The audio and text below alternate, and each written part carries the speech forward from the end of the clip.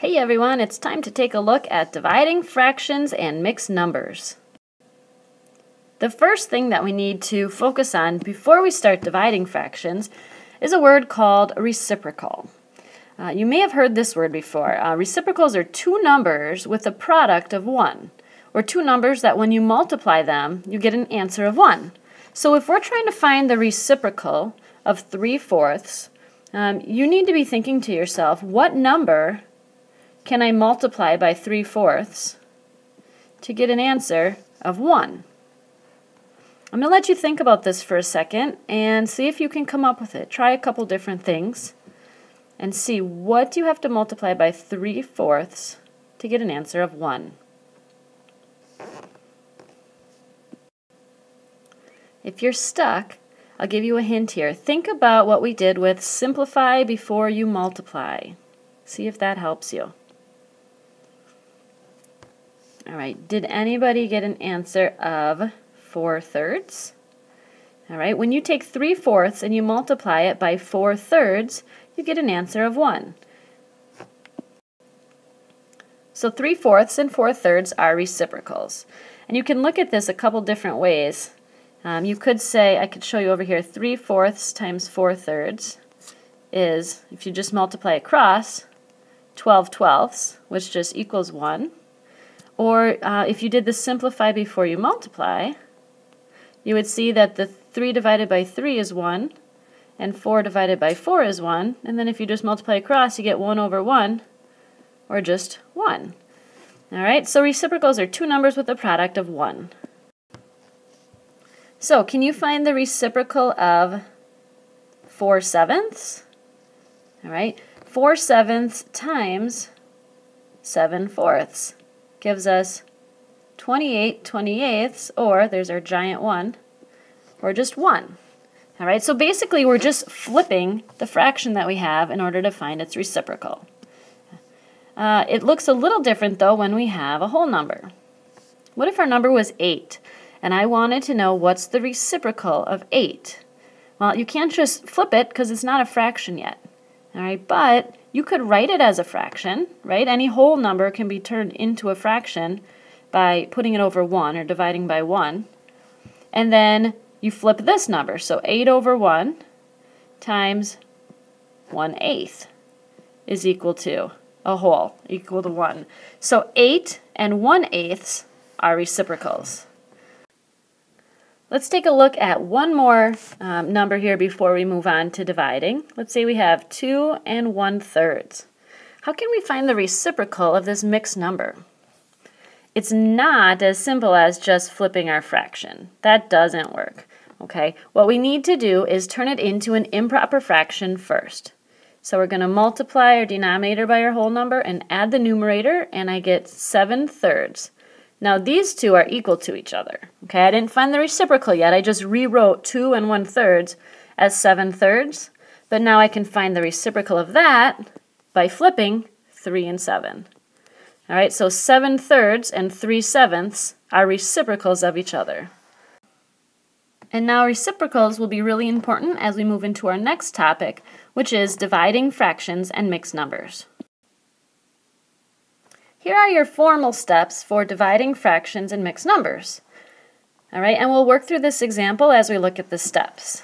So it says turn, turn them into improper fractions if necessary. So if they're mixed numbers or if they're whole numbers, make sure you turn them into fractions first. And in this example, we do need to do that. So 5 times 2 is 10, plus 4 is 14 fifths, divided by 2 times 1 is 2, plus 1 is 3 halves. All right, so we turn them into improper fractions. Now it says multiply by the reciprocal of the second fraction. So we're looking at this fraction right here, 3 halves.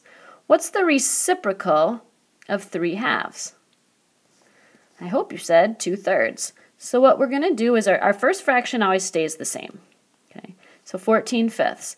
And now we need to multiply, so our division turns into multiplication. Um, and we're going to multiply by the reciprocal, so we're going to flip that second fraction. Okay, so 14 fifths divided by 3 halves becomes 14 fifths times 2 thirds. And now we just multiply across. 14 times 2 is 28, and 5 times 3 is 15. And you can leave it like that as an improper fraction, or if you want to turn it back into a mixed number, I'm okay with that. Uh, 15 goes into 28 once, and there are 13 fifteenths left over. But this way is perfectly fine. Another way that you can think about this, or kind of a shortcut, a way to help you remember um, the method for dividing, is stay, switch, flip. All right, so what this means is after you've turned both of the numbers into fractions, and that's really important, make sure you do that first, uh, then the first number stays the same. Okay, and then you switch the division sign to multiplication and you flip the second fraction. So stay, switch, flip. Let's see what that looks like with this example. So my first number, negative 5 ninths, stays the same. Okay, now I'm going to switch the division sign to multiplication. So this becomes multiply, and I need to flip my second fraction. So 2 thirds becomes 3 halves. And now I just multiply across. Um, 5 times 3 is 15. 9 times 2 is 18, and then I've got a negative times a positive, so I know that my answer is going to be negative 15 eighteenths. Now, I can still simplify this fraction. I see that they're both divisible by 3, and I get an answer of, okay, so negative 15 divided by 3 is negative 5. 18 divided by 3 is 6. There's my simplified quotient to this division problem. Let's try another one. This time we have a whole number um, divided by a mixed number, and we've got a negative thrown in the mix too. All right, so first, turn both numbers into fractions if they're not already fractions. So these aren't, so we need to do that.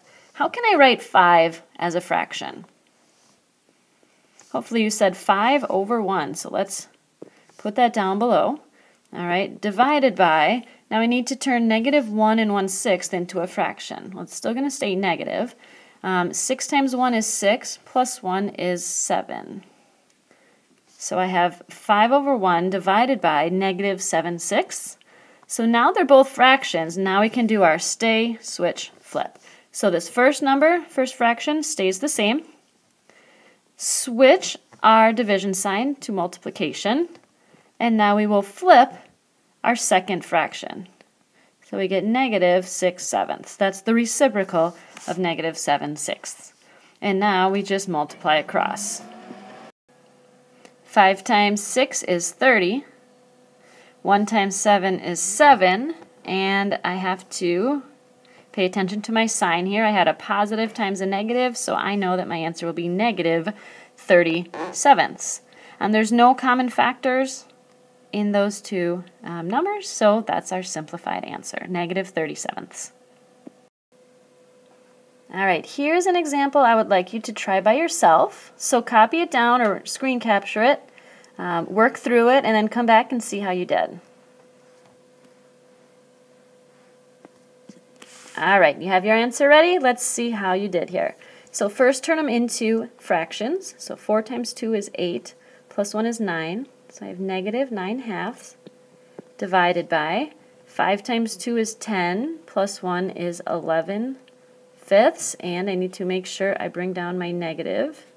I'll put my parentheses to kind of separate.